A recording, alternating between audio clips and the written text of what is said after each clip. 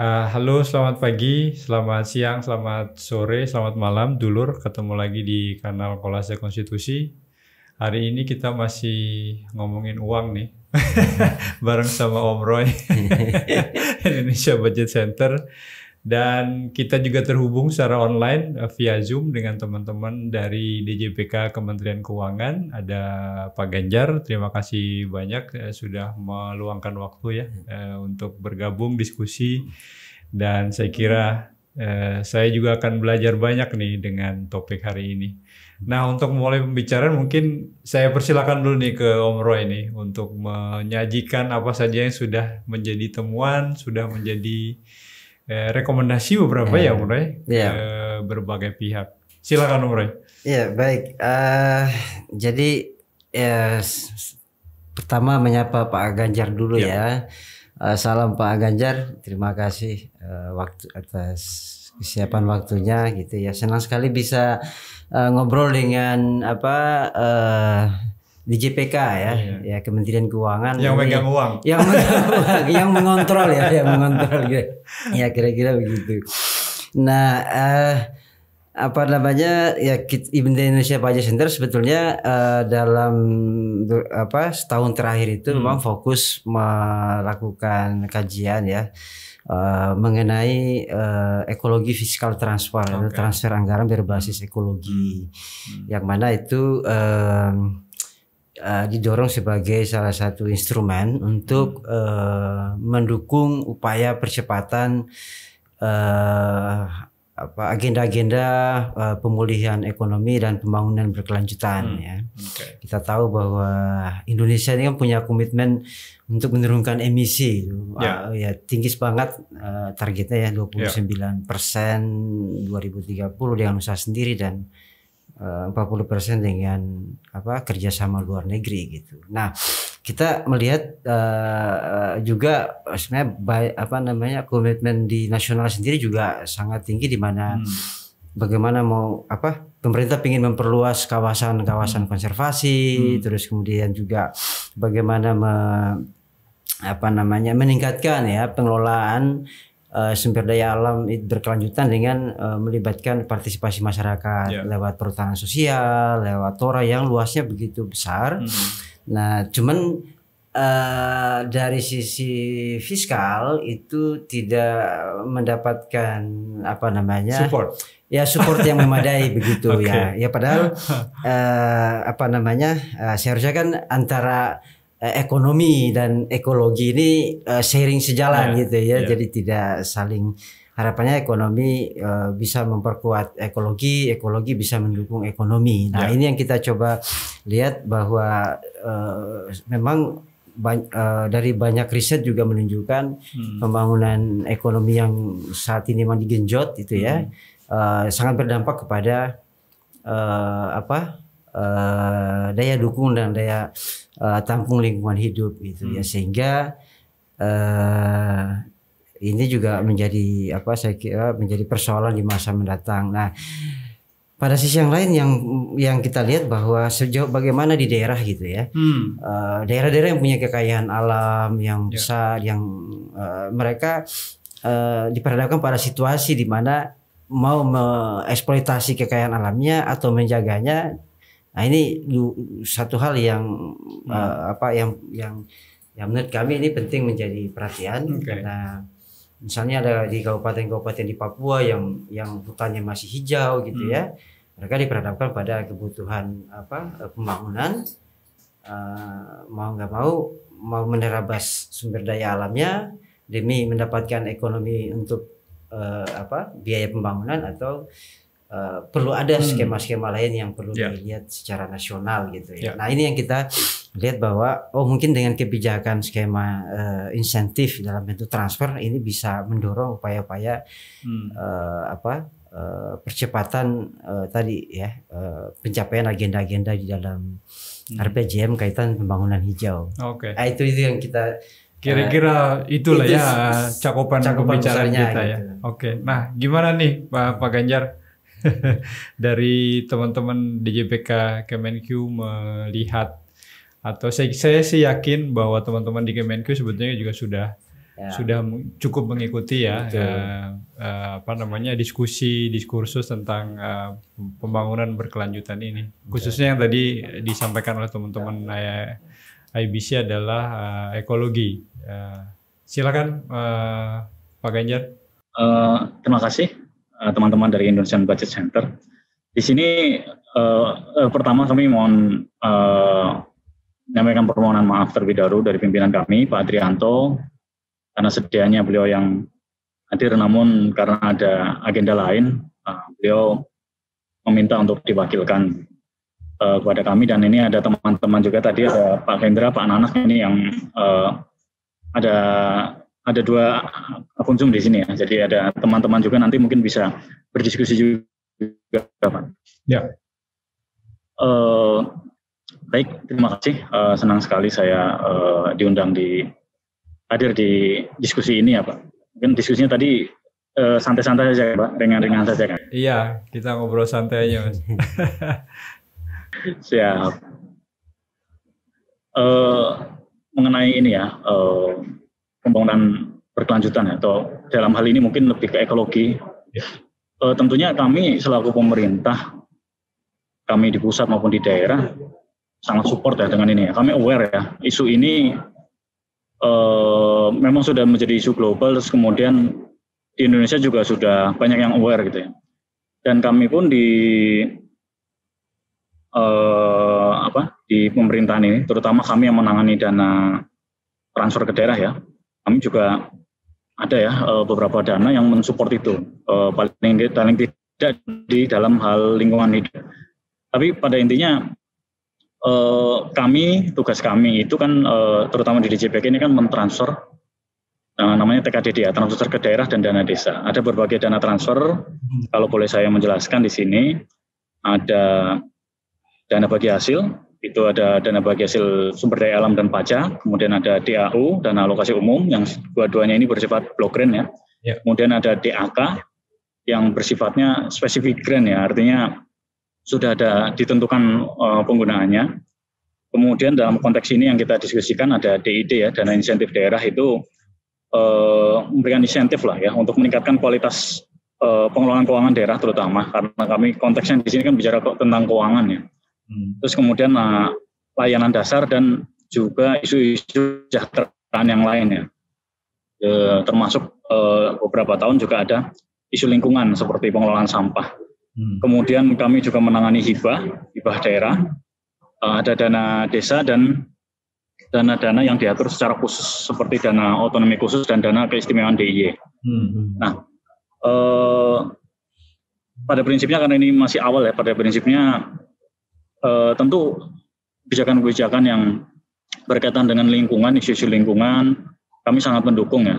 Terutama jika sudah ada perangkat hukumnya dan sudah ada mandatnya ya. Artinya kami kan sebenarnya hanya hanya mentransfer saja itu istilahnya. Jadi memang kalau memang eh, semua kebijakan-kebijakan dari pemerintah eh, pusat eh, juga yang menjadi kewenangan daerah itu ya kami support penuh jika memang itu ada amanatnya terus kemudian ya secara hukum sudah memenuhi gitu ya ada aturannya dan sebagainya kami eh, support penuh. Seperti itu. Termasuk eh, dalam konteks ini di DID juga ada beberapa isu-isu eh, pendanaan untuk yang tujuannya ya. DID ini kan didasarkan pada prestasi daerah ya artinya pencapaian daerah itu. Ya. insentif atas kinerjanya daerah. Nah Hmm. di sini ada juga isu-isu lingkungan seperti yang sudah pernah ada itu adalah sa- eh, sampah ya, pengelolaan sampah. Mungkin sebagai awal itu dulu, eh, nanti kita akan Oke, iya terima kasih eh, Pak Ganjar. Saya mungkin manggilnya Mas saja kali ya biar lebih santai kita ngobrolnya ya. Dan nanti Om Roy mungkin bisa jamin ya kalau ingin apa namanya menambah karena Ya. kalau eh, boleh ini Mas Ganjar. Jadi selama ini apakah eh, eh, model penilaian ya kalau tadi eh, disampaikan adalah sebetulnya ini atas kinerja daerah ya.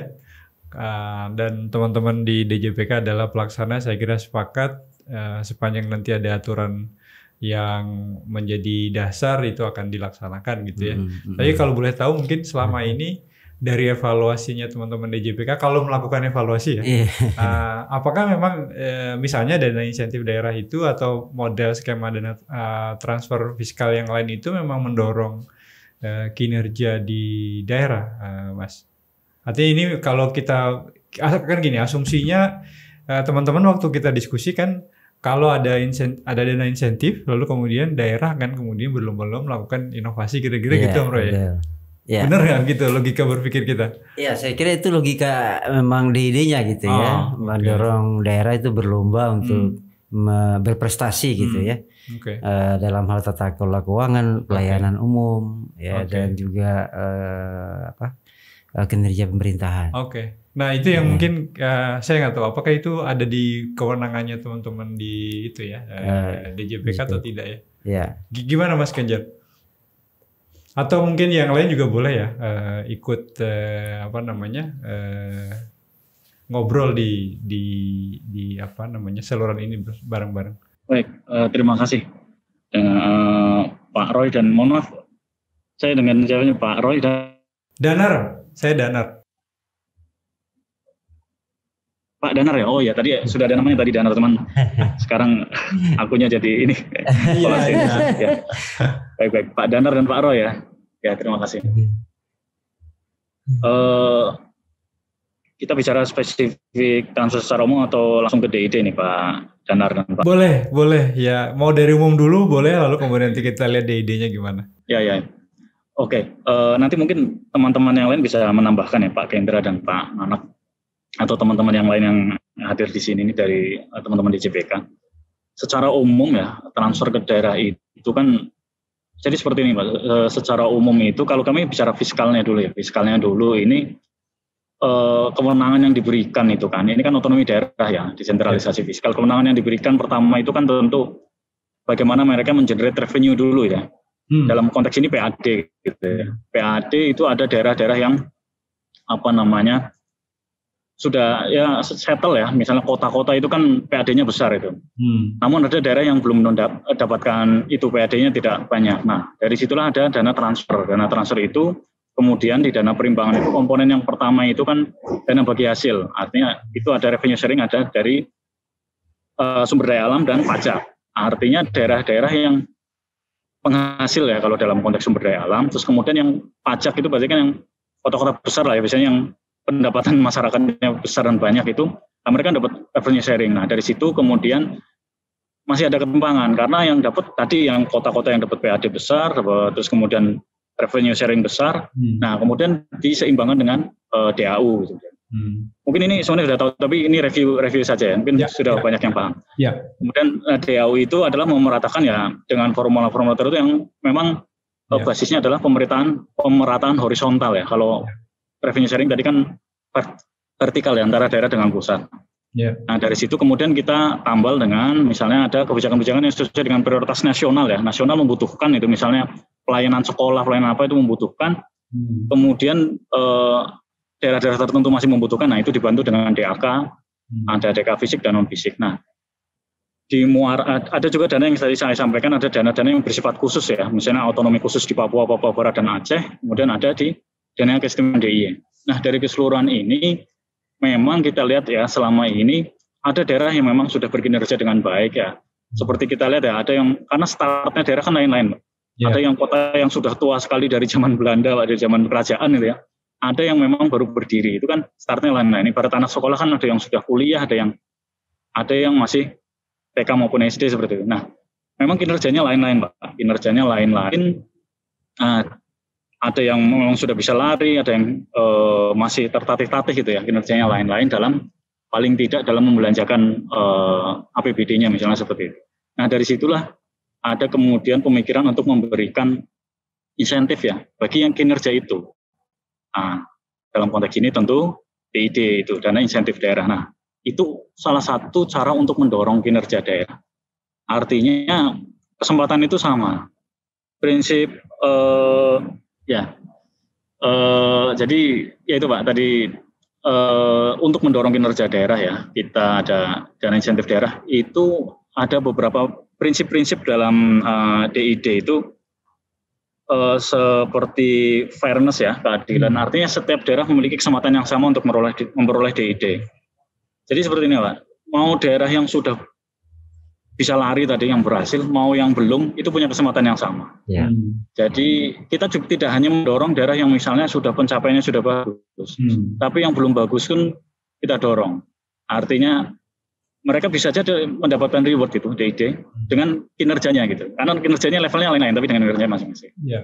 Jadi prinsipnya itu Pak, karena kita melihat daerah memang kinerjanya masih lain-lain ya, karena itu tadilah aspek historis kan nggak bisa bohong Pak. Ada ya. yang sudah lama gitu, ada yang baru saja. Nah itulah kemudian ada insentif itu ya semua Pak, semua itu punya kesempatan yang sama dan memang kalau kami di sini tidak hanya daerah-daerah yang sudah maju tapi ada beberapa daerah-daerah yang masih sepertinya kita lihat tuh kok ini enggak enggak terkenal gitu ya? Atau namanya masih asing mungkin bagi kamu. Kalau kami kami sih sudah karena tiap hari melototin daerah itu sudah paham tapi iya. oh ini bisa dapat? Nah itu memang salah satu bukti bahwa uh, kita berusaha untuk mendorong kinerja daerah. Hmm. mungkin itu. Mungkin ada teman-teman yang mau menambahkan Pak Gendra atau Pak Nanak Iya, monggo yang lain kalau ada yang mau menambahkan. Tapi kalau uh, belum, uh, tadi pertanyaannya ini sebenarnya Mas, apakah memang uh, skema insentif uh, ini kemudian memang benar-benar me mendorong daerah ya untuk yeah. berlomba-lomba melakukan inovasi? Kalau kalau selama ini yang uh, panjenengan lihat uh, gimana, Mas Ganjar? Ya, jadi aspek dalam DID ini kan luas ya, tidak hmm. yeah. tidak hanya memang inovasi ya, karena pelayanan itu tidak hanya berupa apa ya sesuatu yang baru, tapi memang ada yang dasar gitu ya, hmm, okay. sifat dasar. Kalau sesuatu yang baru itu kan ya something new, padahal eh, di kondisi di masyarakat yang dasar pun masih banyak yang belum terpenuhi. Misalnya pelayanan di bidang kesehatan, pendidikan ya. Jadi kita menilai tidak hanya yang inovatif ya. Ya. Tapi memang ada yang inovatif ya, sifatnya inovatif. Tapi kami menilai pertama tentu dari aspek fiskal, fiskalnya ya, pengelolaan keuangan daerah karena kami kan dalam hal ini uh, berbicara uh, Kementerian Keuangan ya tentang keuangan. Ya. Jadi pengelolaan keuangannya dan sebagainya. Kemudian masuk kemandirian fiskalnya ya. Hmm. Terus kemudian setelah itu ada pelayanan-pelayanan dasar seperti di bidang kesehatan dan pendidikan. Nah, okay. ada juga di uh, sektoral lain seperti lingkungan. Nah, inovasi juga ada. Kami uh, beberapa uh, melakukan penilaian terhadap inovasi-inovasi. Namun uh, tidak konteksnya tidak hanya inovasi, tapi semua ya mencakup yang besar, terutama pelayanan dasar itu karena inti dari apa ya pemerintah hadirnya pemerintahan itu kan pertama itu kan pelayanan dasar dulu gitu. Ya. Seperti. Ya, menarik nih. Gimana Roy? iya, jadi eh, apa namanya? Eh, memang kami sendiri ya hmm. melihat bahwa dari cukup banyak skema skema-skema transfer hmm. yang diatur dalam undang undang-undang uh, kaitan dengan perimbangan keuangan maupun juga undang-undang APBN sendiri hmm. gitu ya setiap hmm. tahun itu cukup banyak Eh, ruang-ruang fiskal yang bisa didorong untuk memperkuat ya hmm. uh, pembangunan di di daerah ya hanya saja memang uh, tentu apa namanya uh, dari sisi tata kelola masih banyak hal yang perlu ditingkatkan hmm. ya hmm. nah sehingga uh, apa uh, korelasi antara besaran dana dengan uh, target itu memang uh, apa namanya uh, masih belum optimal ya tetapi uh, apa namanya sudah mendorong perubahan-perubahan itu di di, di hmm. tingkat lokal. Tentu ini setiap daerah beragam situasinya. Hmm. Nah, uh, tadi sebenarnya uh, apa ya menariknya kan sebenarnya pemerintah sejak 2010 melihat bahwa penting nih kita dorong uh, apa namanya daerah itu punya kinerja dalam uh, mengelola keuangan ya. Ada banyak hmm. transfer yang hmm. harusnya dikelola dengan benar, terus yeah. Ya. uh, pelayanan pun harus dilakukan dengan benar. Makanya uh, kami melihatnya sejak 2010 itu uh, Kemenq ya menginisiasi uh, DID ini hmm. meskipun memang di sini tidak ada diatur dalam undang-undang perimbangan keuangan hmm. uh, tetapi uh, apa undang-undang APBN itu memerintahkan untuk alokasi itu. Nah menariknya ini uh, kita tahu awalnya hanya beberapa daerah, sekarang daerah semakin banyak penerima okay. DID-nya. Artinya okay. daerah mulai bergairah nih hmm. dengan uh, hadirnya DID ini. Kira-kira hmm. begitu kami melihatnya. Hmm. Nah, nah kami sendiri sebenarnya dalam posisi melihat bahwa oh ini skema DID ini menarik banget ya hmm. untuk didorong pada aspek uh, apa bagaimana memperluas uh, apa penilaian kinerja uh, lingkungan hidup tadi Pak Mas Ganjar sudah menyampaikan sebetulnya hmm. bahwa sejak 2019 ya kalau tidak hmm. salah itu sudah ada uh, apa kinerja persampahan dalam konteks lingkungan. Hmm. Nah, kami hmm. lihat bahwa ini uh, belum apa belum meng, apa explore uh, problem lingkungan hidup yang uh, lebih besar ya. Hmm. Nah, makanya kita berharap ada pengembangan-pengembangan dari indikator kinerja ini. Hmm. Nah, itu mungkin yang uh, saya kira menarik mungkin untuk juga uh, apa mendapatkan penjelasan dari yeah. Mas Ganjar ya. Yeah. Uh, kira-kira uh, untuk 2022 ke depan ini uh, itu apa sih uh, seperti apa arah kebijakan DID ini? Hmm. Karena kemarin waktu kami mencoba apa uh, apa memantau uh, apa semacam rapat antara Kementerian LHK dengan Kemenkeu ya hmm. mengenai eh, TKDD bidang LHK lingkungan dan kehutanan di situ ada ada gagasan ada terobosan itu hmm. yang disampaikan oleh teman-teman di JPK itu mengenai uh, apa namanya pengembangan konsep transfer anggaran berbasis ekologi ya TANE hmm. yang mana itu ada pengembangan uh, apa kategori kinerja persampahan menjadi kinerja lingkungan hidup. Hmm. Nah, uh, seperti itu yang kami dapatkan informasinya. Kita nggak tahu hmm. apakah ini uh, seperti apa sih sebetulnya uh, kesimpulannya di di di, di Kemenkeu sendiri dan hmm. seperti apa sih nanti akan uh, proses adopsinya dalam uh, apa kebijakan di, di ke depannya gitu. Nah, hmm. Nah itu satu hal. Nah kita uh, melihat bahwa ada dua sebenarnya ada secara hmm. jangka pendek dan jangka panjang sebetulnya melihat bahwa penting banget ide ini untuk uh, terus didorong ya penguatannya hmm. dan diperkaya ya variabel kinerja yang akan diukur hmm. uh, tidak hanya diatur lewat uh, undang-undang APBN tapi kemudian bagaimana momentum perubahan RUU HKPD juga memasukkan hmm. uh, apa konsep DD ini uh, dan apa bagaimana memperkuat agenda-agenda lingkungan hidup dalam hmm uh, apa penilaian kinerja uh, eh, okay. DID.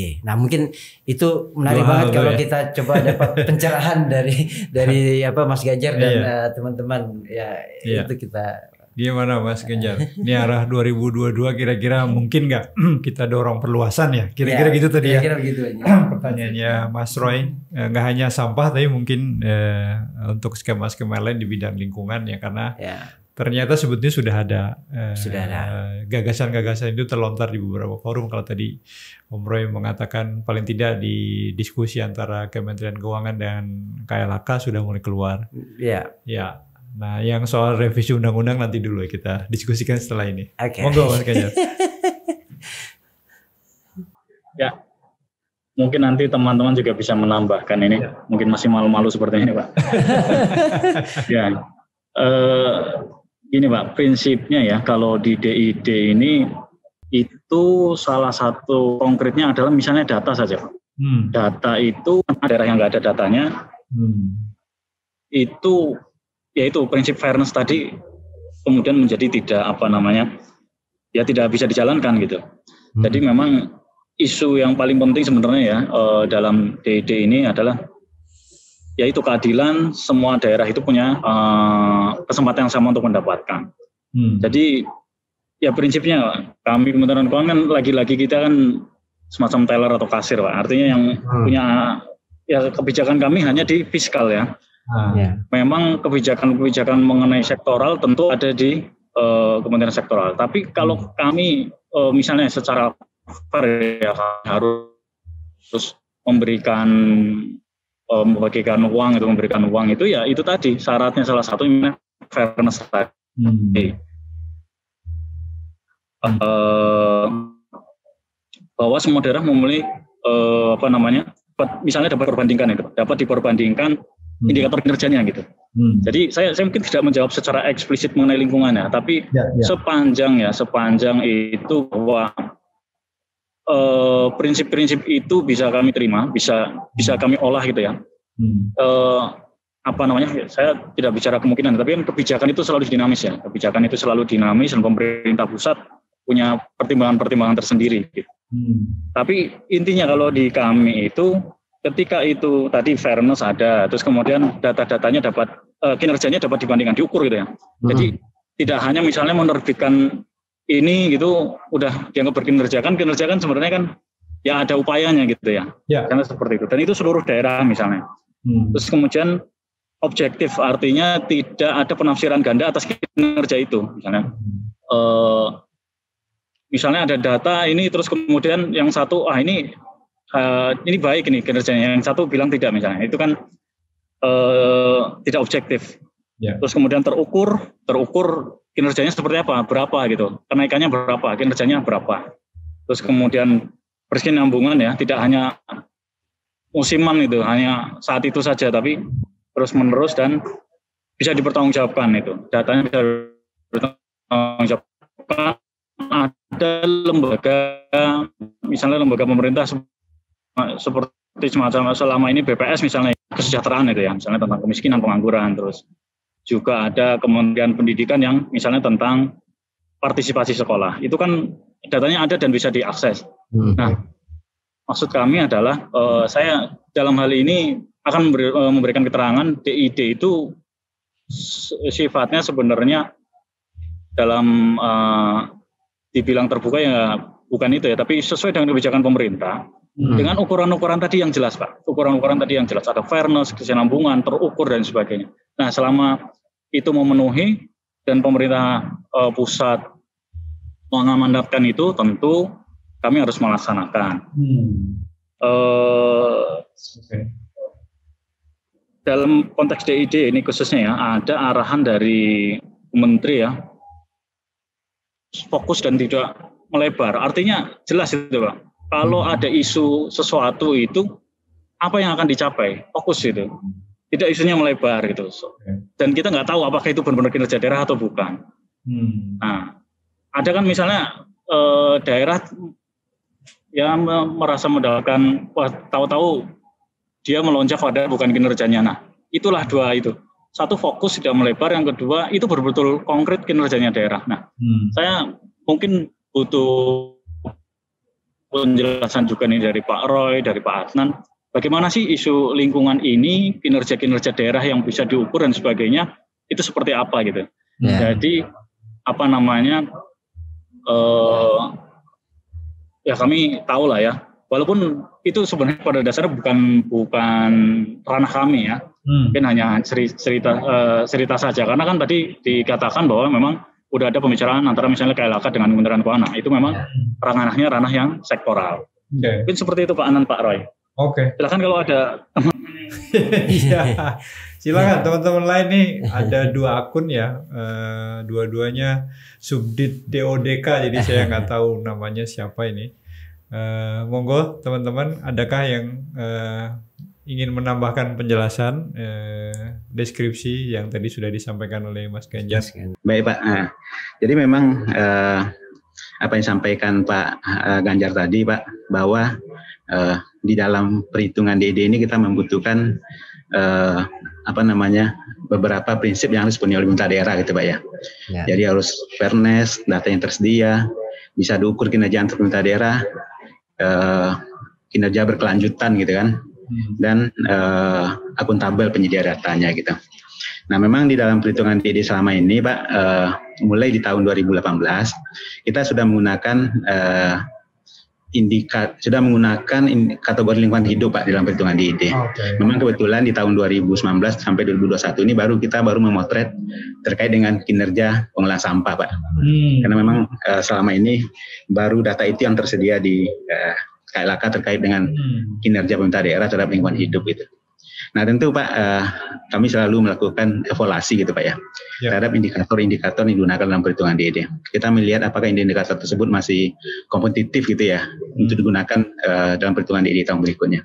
Apakah indikator ini sudah uh, masih layak digunakan untuk uh, uh, untuk dalam mengejar uh, kinerja pemerintah daerah gitu. Nah, memang untuk pengolahan sampah Pak, uh, kami juga uh, seperti indikator-indikator lainnya gitu ya. Kami melakukan evaluasi melibatkan uh, KL-nya sendiri gitu. Hmm. Jadi uh, pada awal apa uh, satu kemarin Pak, memang melakukan diskusi yang sangat intens dengan uh, KL gitu ya, termasuk pengolahan sampah ini. Nah, memang uh, muncul uh, apa namanya uh, arah perbaikan untuk mengolah sampah gitu ya. Hmm. Jadi memang kalau selama ini sampah itu kan apa kinerja pengelolaan sampah ini kan hanya eh, lingkungan hidup hanya tersampah gitu pak ya.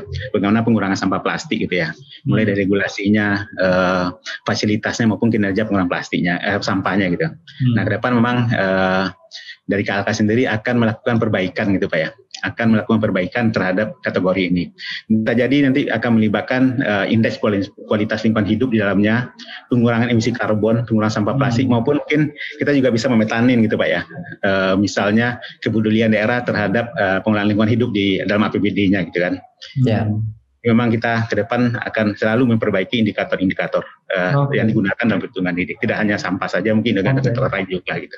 Okay. Itu Pak mungkin sedikit tambahan. Terima kasih Pak.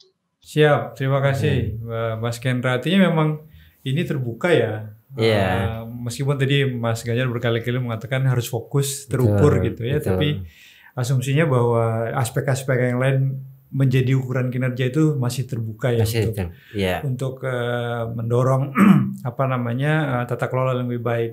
Yeah. Tapi tadi satu hal yang yang kayaknya perlu kita catat Om Roy yeah. dari deskripsinya Mas Ganjar dan Mas Kendra tadi data ini yang jadi krusial. Ya yeah, betul sekali. yeah. data yang jadi krusial. Betul. Yang kedua berkesinambungan ya tadi Mas Ganjar iya. mengatakan. Yeah. Dan diskusi kita sebelumnya kan ini kalau pemerintah daerahnya kepala daerahnya ganti bisa jadi ini inisiatifnya hilang atau hilang. berkurang. Nah, ini gimana nih Om Ray selama ini ngeliatnya? Nah itu uh, memang salah satu tantangan uh, dalam bagaimana mengakselerasi ya hmm. uh, kinerja pembangunan. Sebenarnya kinerja pembangunan, kinerja anggaran ini kan sebenarnya hmm. satu dua hal yang sebenarnya uh, ini sharing sejalan gitu ya. Hmm. Bagaimana uh, anggaran itu uh, benar-benar digunakan dengan baik akan mendongkrak kinerja pembangunan. Hmm. Nah. Um, Nah selama ini memang kita lihat uh, tantangan dalam menyusun perencanaan yang berkualitas ini hmm. dan juga mengalokasikan anggaran yang tepat ini adalah pada problem data memang. Hmm. Okay. Ke birokrasi kita dari tingkat bawah iya, itu yeah, yeah. desa, lurah, terus, terus uh, kecamatan, yeah. kabupaten itu memang mereka tidak didorong untuk memproduksi data yang yang apa ya uh, data hasil-hasil pembangunan, hmm. Hmm. tapi lebih kepada data-data hasil kegiatan uh, project gitu. Hmm. Nah, padahal kan yang yang pengen dilihat adalah ini uh, kemarin kamu udah belanja sekian hmm. untuk uh, pelindungan lingkungan, hasilnya apa nih? Kan yeah. gitu yang pengen yeah. dicek ya. Yeah. Ya, jadi bukan jumlah oh ada 50 pertemuan. Nah, kan itu berarti sudah terselenggara. Iya, sudah terselenggara. Nah, saya kira ya, ya. perubahan paradigma itu. Makanya di ide ini kan mendorong ada perubahan paradigma juga kepada pemerintah hmm. daerah bahwa uh, ini loh kami benar-benar pengen apa menilai daerah untuk hmm. uh, mulai uh, melihat kinerja mereka, hmm. uh, mengukurnya bagaimana seperti apa capaiannya gitu. Karena ini akan dikompetisikan hmm. itu uh, untuk mendapatkan uh, eh, DID.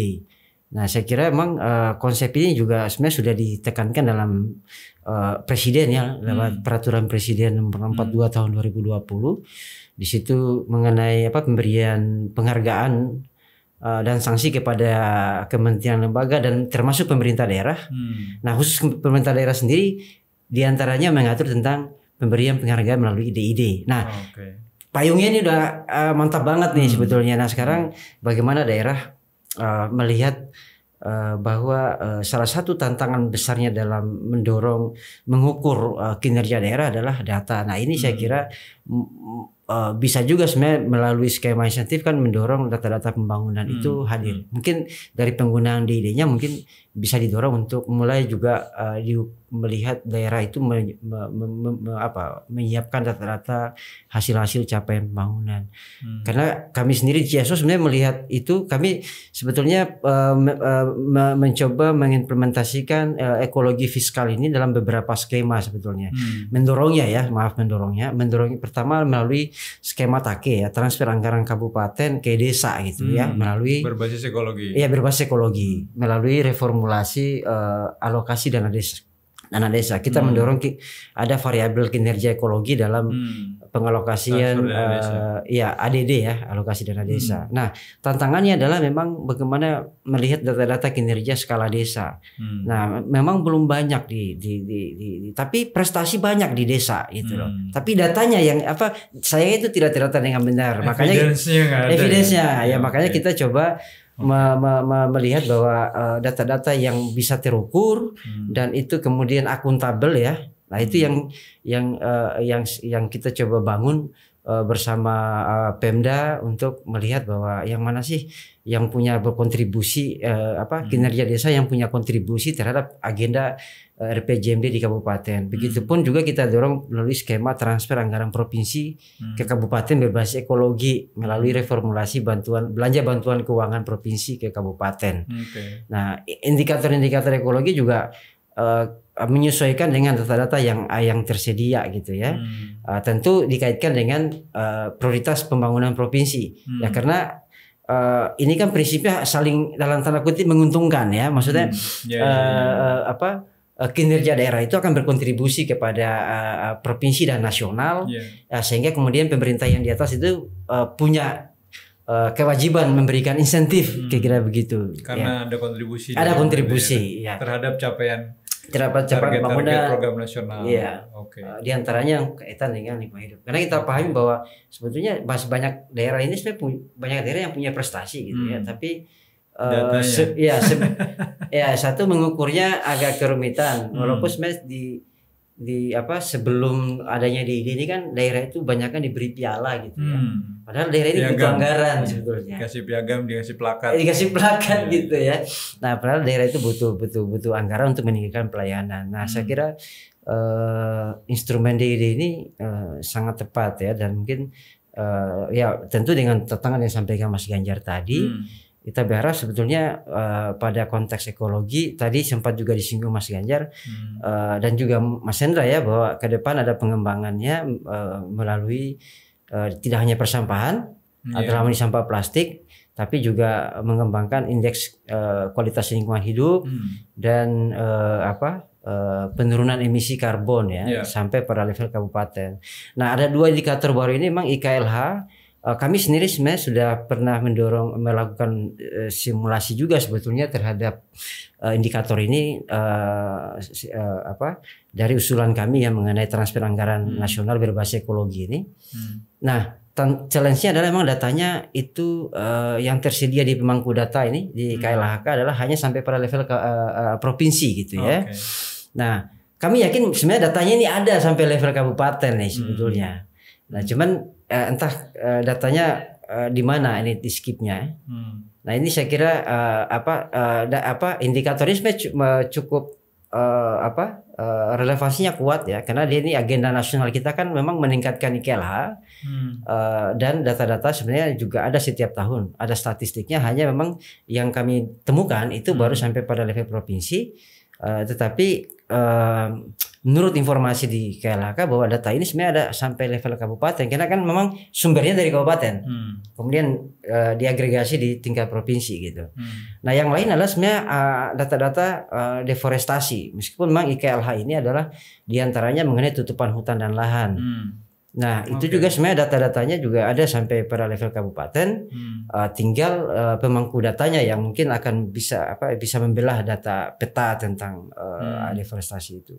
Oke. Uh, termasuk juga sebenarnya uh, angka emi, uh, apa uh, penurunan emisi di beberapa provinsi sebenarnya misalnya Sulawesi Selatan yang punya uh, agenda pembangunan apa penurunan emisi itu memang di antaranya mereka sudah mulai mengukur uh, apa berapa pencapaian uh, emisi mereka penurunan emisi setiap tahun.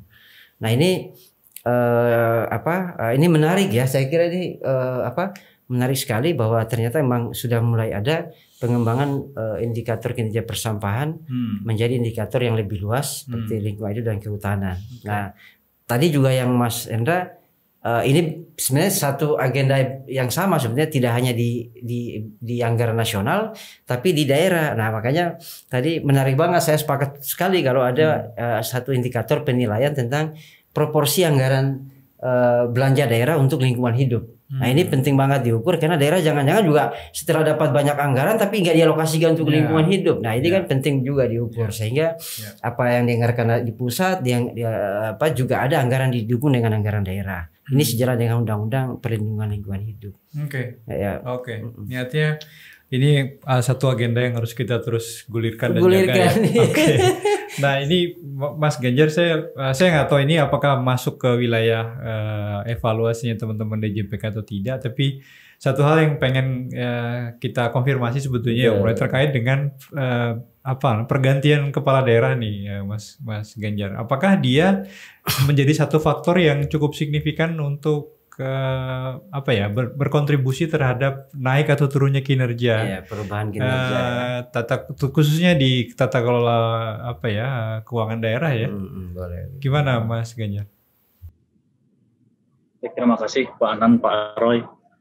Sebenarnya secara khusus kami tidak mengamati itu ya secara khusus Oke. ya karena Oke. eh, memang kalau kita bicara tentang kinerja terutama di eh, fiskal ya itu Hmm. berlaku secara umum dan memang eh, biasanya kalau kinerja fiskal itu tidak terlalu inilah ya tidak terlalu berubah Hmm. secara cepat lah ya, tidak Ya. jauh. karena memang proses proses tidak bisa instan memang itu Oke. misalnya gini, misalnya tentang opini BPK saja itu kan tidak mungkin yang tadinya masih disclaimer atau apa langsung meloncat menjadi PTP misalnya PTP, itu ya. Hmm. itu proses dan tapi alhamdulillah eh, semakin banyak gitu. Yang dari tahun ke tahun ya walaupun cukup lama juga misalnya membutuhkan beberapa tahun tapi semakin lama semakin banyak. Maka itu apa namanya yaitu tadi yang disampaikan Pak Aroy ini daerah juga semakin banyak yang melihat ini. Nah artinya berkinerja baik dan mendapatkan insentif.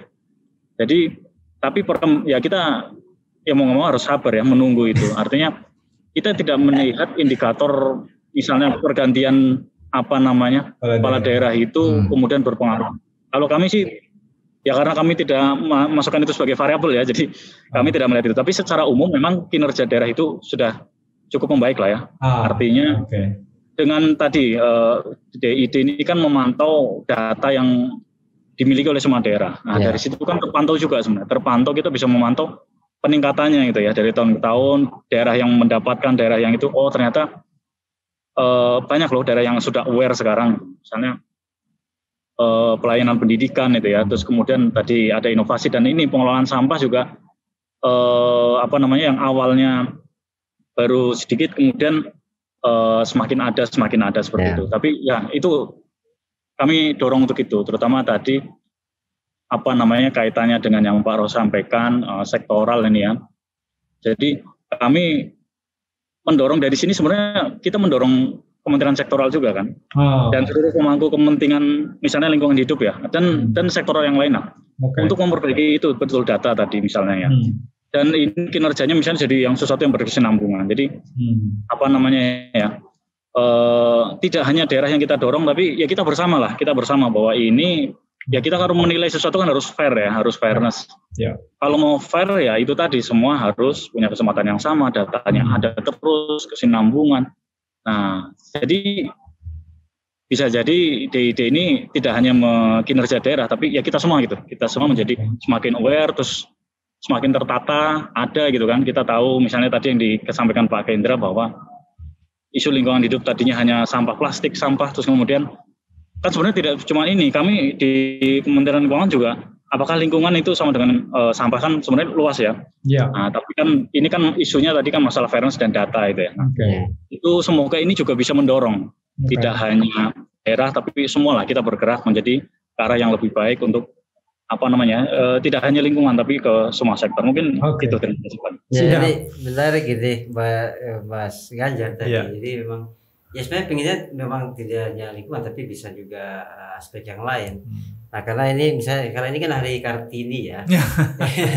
hari ini hari Kartini. Oh, iya. Nah beberapa ini mas masyarakat Kartini. sipil itu melihat bahwa uh, masih tingginya ketimpangan gender. Nah mereka Hmm. melihat bahwa mungkin juga jangan-jangan DID juga bisa mendorong uh, Partisipasi perempuan. Iya, indeks kinerja daerah dalam uh, apa? Kesetaraan partisipasi dan uh, keadilan gender begitu. Ah, oke. Nah, ini ini juga dan itu datanya ada secara statistik ya. hmm. Nah, apa saya, eh, saya kira memang ternyata memang DID ini sebenarnya bisa menjadi instrumen yang yang uh, yang efektif sebetulnya. Yang strategis ya. yang strategis ya. Oke. Hanya saja tadi yang bilang kamu, uh, yang sampaikan Mas Ganjar Hmm. Eh, tentu harus di- pada ketersediaan data yang Ya. eh, kredibel itu gitu Ya. ya dan itu punya data serius yang Ya. bisa di- Sehingga menjamin aspek kita tadi fairness ya yang Mas Ganjar berkali-kali sampaikan lalu kemudian berkesinambungan. betul Nah ini yang eh, terakhir mungkin Mas Hmm. Ganjar. Pertanyaannya sudah ada bisik-bisik belum nih eh, terkait rencana revisi Undang-Undang Hubungan Keuangan Pusat Daerah. Jadi Om Roy sudah menyebut-nyebut. iya karena ini kan kita em, juga kan memantau juga yang Ya. apa namanya yang terjadi di parlemen bahwa pemerintah dan DPR sudah sepakat mau membahas RUU HKPD ya Hmm. karena memang kenapa itu penting saya kira eh, dan juga saya kira ini informasi yang eh, juga mungkin ditunggu pendengar podcast sebetulnya publik Hmm. secara luas Eh, seperti apa sih eh, apa namanya eh, arah kebijakan yang hendak didorong dalam Ya. RUU itu Poin-poin apa sebetulnya kalau Iya. mau ada revisi ya? revisinya ya khususnya mengenai eh, tadi DID dan juga peluang apa Iya. eh, pengembangan eh, kinerja ekologinya sehingga dia apa orang melihat bahwa oh secara berkelanjutan mungkin eh, Hmm. bisa terjamin dengan adanya Oke. RUU HKPD itu gitu. Yep. Ya, mungkin ada isu yang lain terkait tata kelola APBD gitu ya. Karena Iya. kabarnya juga apa eh RUU itu eh, apa namanya eh, akan me- me- me- menggunting undang-undang PDRB ya. Jadi apa Hmm. undang-undang itu tidak lagi diberlakukan Hmm. karena nanti akan diinsert ke dalam undang-undang HKPD. Nah, Hmm. seperti apa jelasnya mungkin Mas Ganjar bisa memberikan Iya. kultur pencerahan Gi- gitu. Gimana Mas? Bisa ngasih bocoran nggak?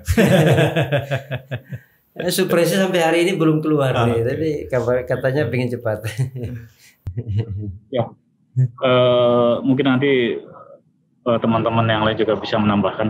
Mungkin yang pertama tadi eh, terkait dengan DID dulu yang apa namanya eh, bisa mengcapture banyak apa namanya isu-isu ya. Tapi ya intinya eh, apa namanya kinerja-kinerja kunci tadi ya kalau DID itu artinya kita fokus ya menghargai kita menghargai semua kinerja DID eh, kinerja daerah tapi tentunya yang diutamakan adalah eh, apa namanya mungkin pelayanan dasar dan yang artinya memang yang menjadi isu lah, isu nasional atau prioritas nasional. Oke. Yang kedua mengenai uh, RUU HKPD ya, Hmm.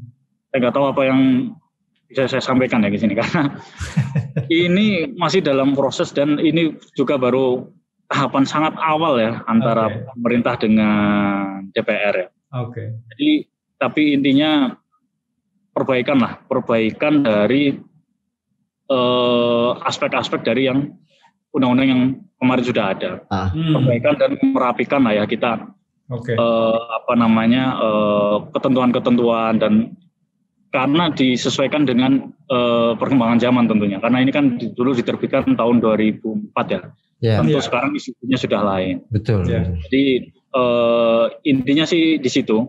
Kalau bocoran saya juga bingung juga mau membocorkan apa. Saya sendiri juga belum apa ya istilahnya karena ini memang masih sangat ini ya sangat awal ya Awal. Eh, Oke. sangat awal atau ya mungkin teman-teman yang lain ada yang mau Ya. menambahkan silakan.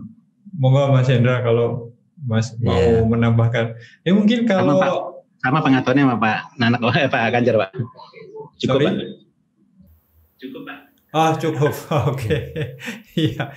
Nah, mungkin kalau boleh eh, tahu aspek-aspek apa saja yang kira-kira mungkin ya dalam bayangan teman-teman itu memang perlu di diubah ya, direvisi dalam eh, skema undang-undang, eh, revisi undang-undang Ya. hubungan eh, keuangan pusat daerah ini, Mas Ganjar dan Mas Hendra. Saya tahu meskipun ini pembicaraan masih sangat awal. Ya.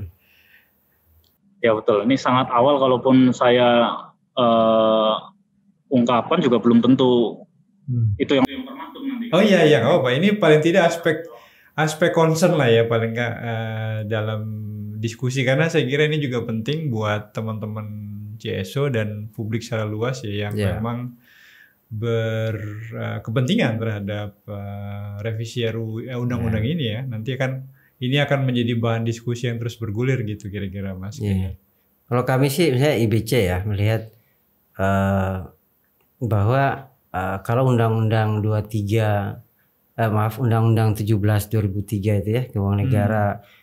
Uh, mendorong performance based budgeting. Nah, hmm. apakah itu dalam Undang-Undang RUU KPD itu makin coba dipertajam hmm. uh, sehingga tadi ya uh, daerah mulai uh, kalau awalnya itu 2003, 2003 sampai uh, 2010 itu adalah proses exercise gitu ya. Hmm. Nah, uh, apa dengan semakin makin ke sini harusnya sudah mulai kelihatan tuh penampakannya daerah seperti apa sih mereka menerjemahkan apa uh, penganggaran bebas kinerja di dalam hmm. APBD hmm. sehingga betul-betul itu bisa kelihatan nih uh, apa hasil dari uh, anggaran itu ya hmm. value for money-nya kelihatan.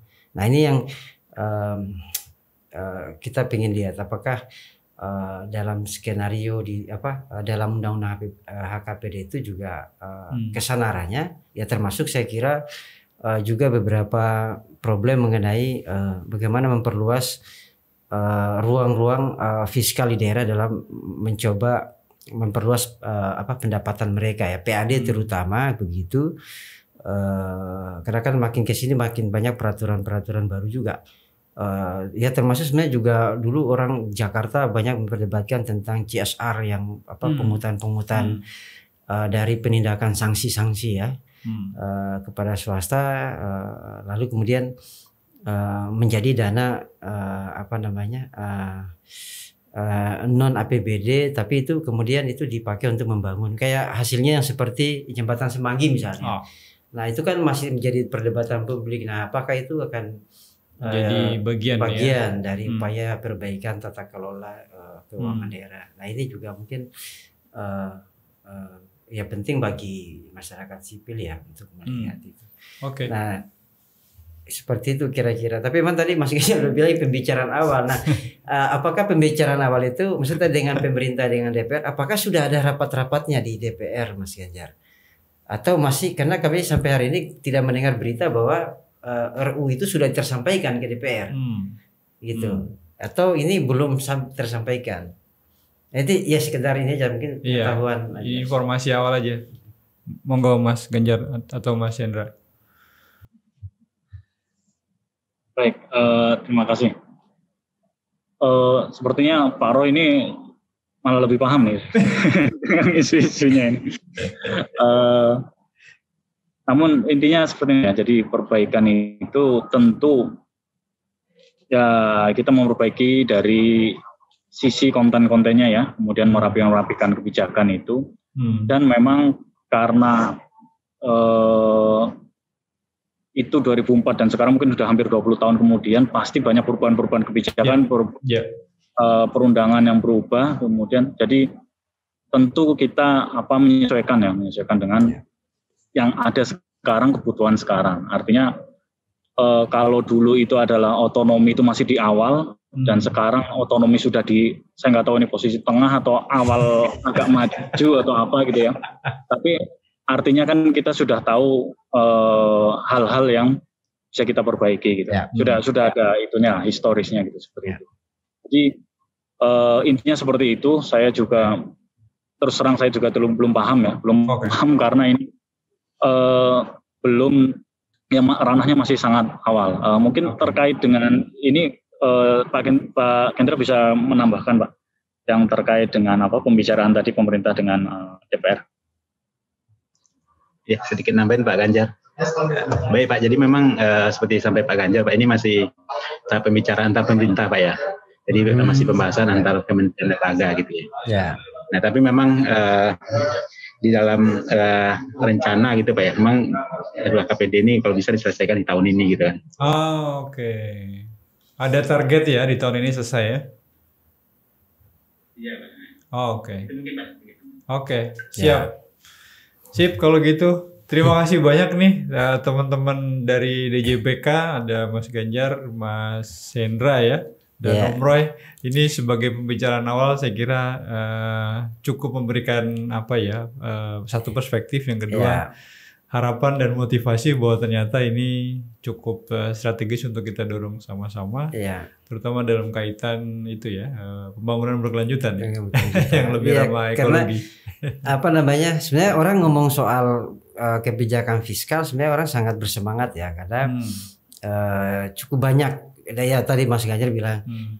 Dari awal kita reformasi ini sudah berapa tahun nih kita Ya. sudah masuk pertengahan nih atau atau mau sudah sampai di ujung atau At- gimana Atau jalan di tempat. atau jalan tempat. Nah, ternyata memang dari berbagai evaluasi eh, sebenarnya banyak inovasi-inovasi atau Hmm. kebijakan-kebijakan yang mengadopsi eh, agenda-agenda eh, global Hmm. maupun juga nasional gitu Hmm. ya. Hmm. Nah, sayangnya memang tidak didekat ke apa instrumen fiskal tidak mengikuti gitu. Sehingga itu hanya menjadi dokumen yang indah tapi Hmm. tidak aksinya nggak ada. Ya. Nah, ini yang Ya.